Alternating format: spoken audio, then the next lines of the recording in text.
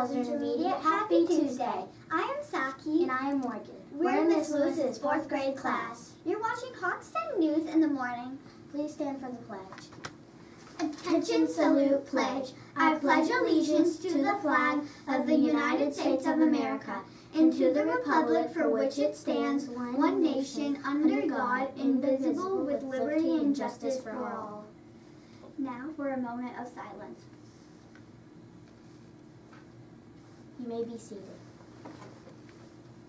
Today for lunch we're having cheesy lasagna, green beans, a garden salad, and breadsticks and peaches.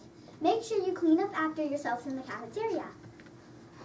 The library is on week B. Students need their charged laptops, folders, and books, library books. Counseling is on week B2. Students need a pencil and crayons. Tomorrow's ice cream day. Don't forget to bring your two dollars. Class pictures are tomorrow. Honors Day is on this is this Thursday. You've been watching Hawks 10 News from the Hawks Nest. Tune in again for next time for more breaking news. Have, Have a, terrific, terrific Tuesday. Tuesday. Bye.